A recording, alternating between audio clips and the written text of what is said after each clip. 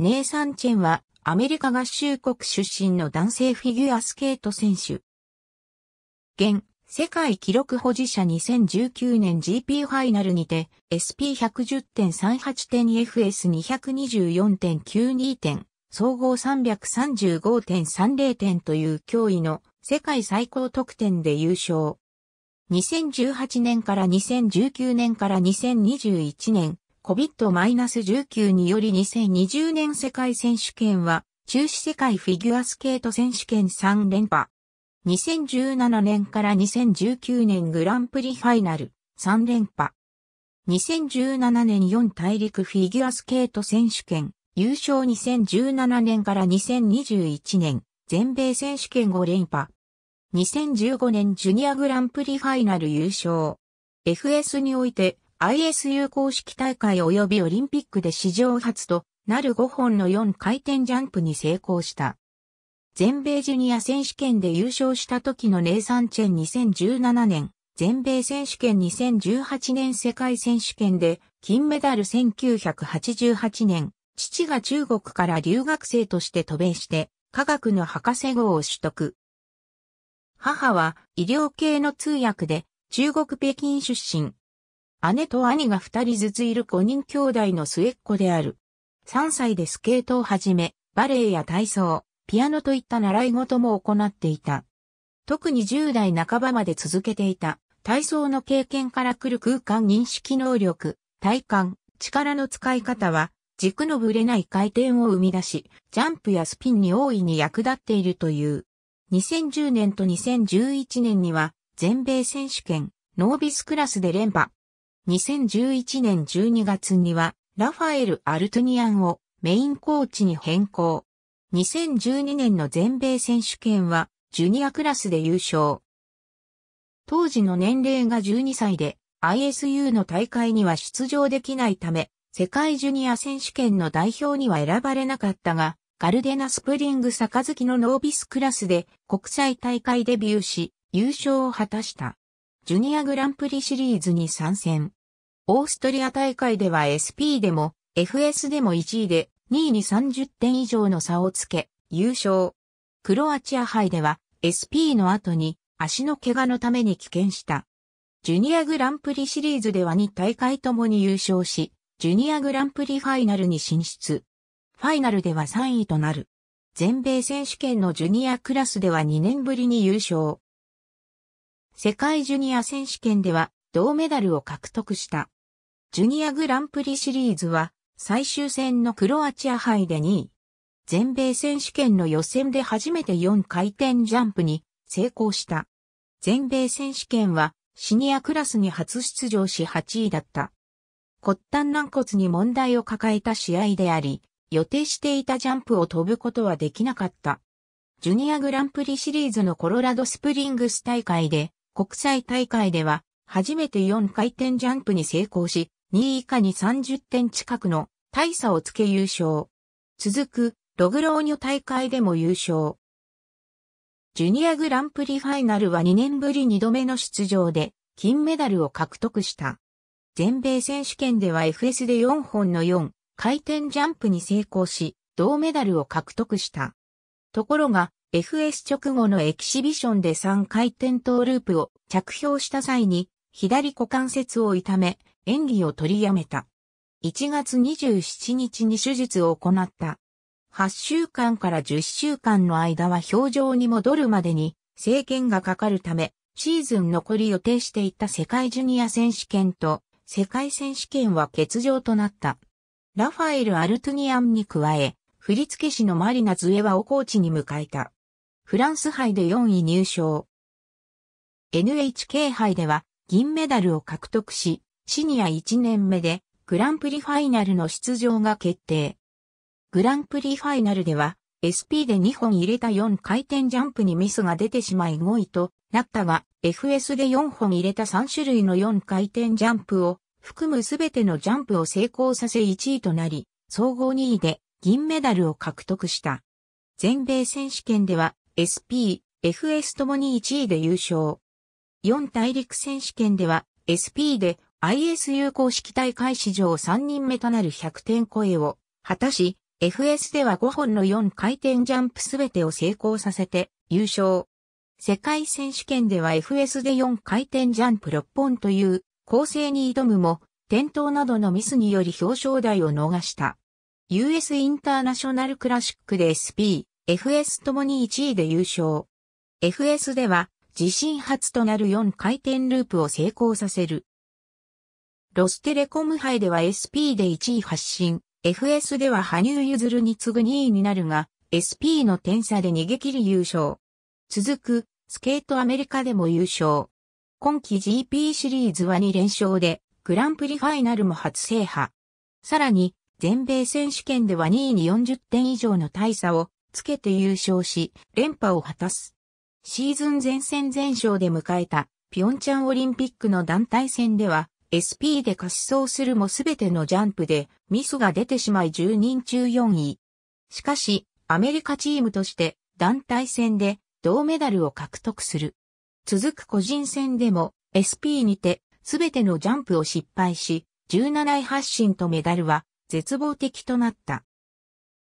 しかし、FS で4回転ジャンプ6本に挑戦し、5つのジャンプを成功させ、215.08点を叩き出して FS1 位、合計5位入賞となった。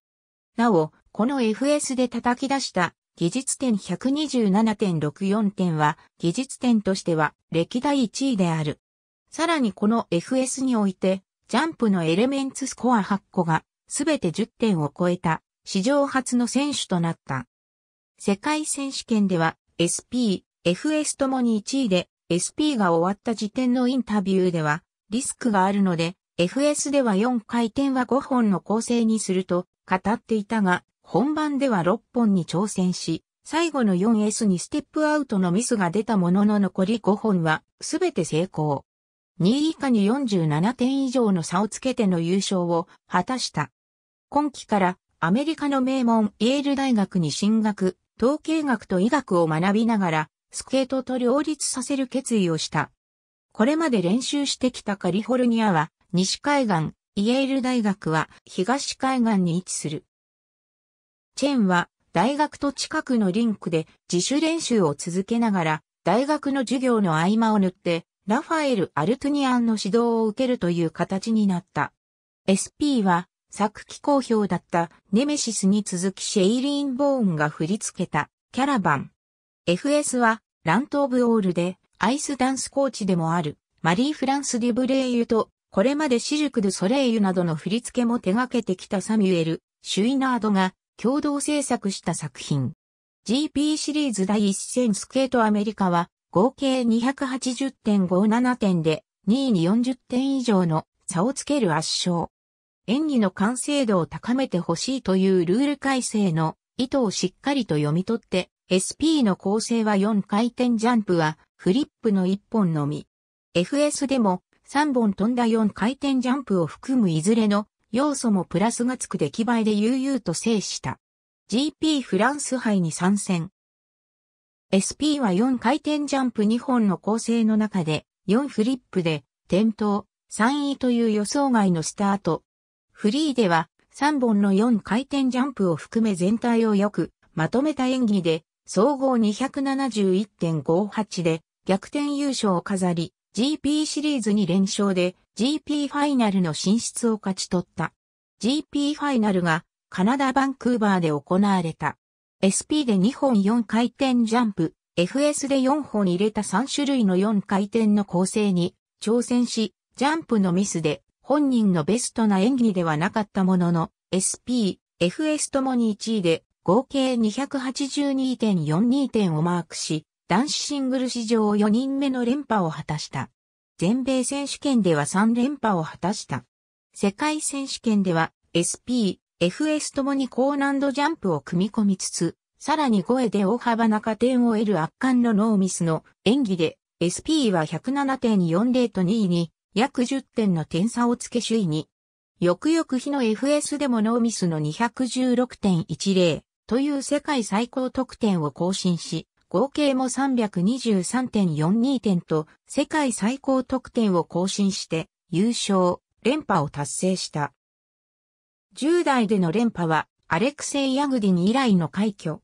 国別対抗戦では、大学の勉強に集中しなければならなかったという理由から、SP、FS の両方で普段よりも4回転ジャンプの本数、難易度を落としての参加となったが、SP、FS ともに1位となった。シリーズ初戦となる GP スケートアメリカでは2位と40点以上の大差をつけ金メダル。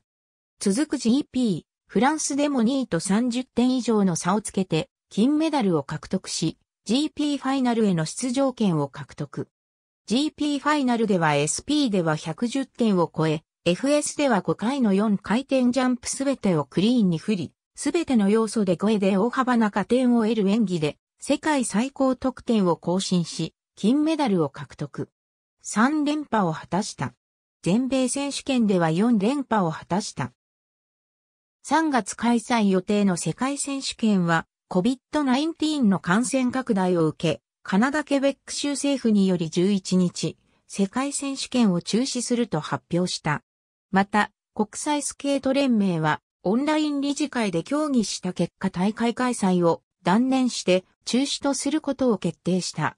COVID-19 の感染拡大を受け、グランプリシリーズは開催国の選手と役員、開催国を練習拠点にしている選手、該当地域の開催国に入国できる選手のみの開催とされ、出場は一人一回とされることとなった。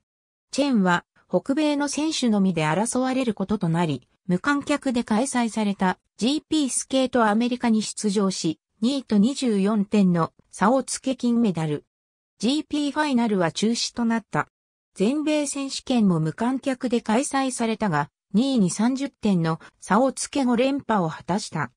5種類の4回転ジャンプをいずれも非常に高いレベルで飛ぶことができ、その時の体調に合わせて自由に構成を変えることができるのが最大の強みである。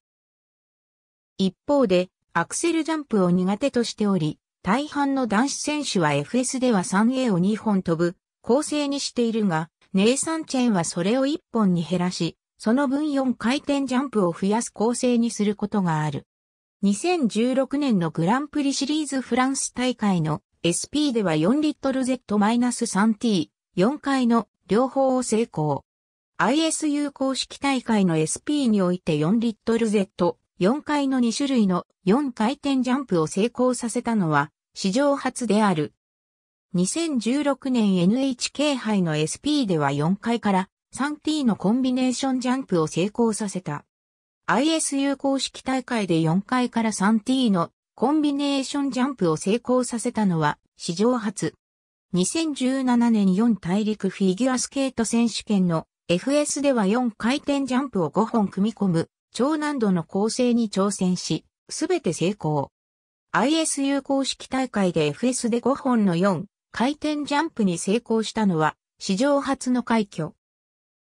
ピョンチャンオリンピック2018年世界選手権においては FS で6本の4回転ジャンプに挑戦し、うち5本の4回転ジャンプに成功した。2017年 US インターナショナルクラシックでは4回転ループを成功させ、これでアクセルジャンプを除く5種類の4回転ジャンプすべてを成功させた最初の選手となった。ジュニア時代まではビールマンスピンも使っていたが、シニアデビュー以降は腰の負担を考慮し、封印している。スケートを始めた当初は姉のお下がりのスケート靴を使っていた。成長に伴い新しい靴を買おうにも、そのお金がなかったという。その際に、父親がアメリカのマイケル・ワイスが将来有望な若者に奨学金援助をするために設立したマイケル・ワイス財団に援助を求めた。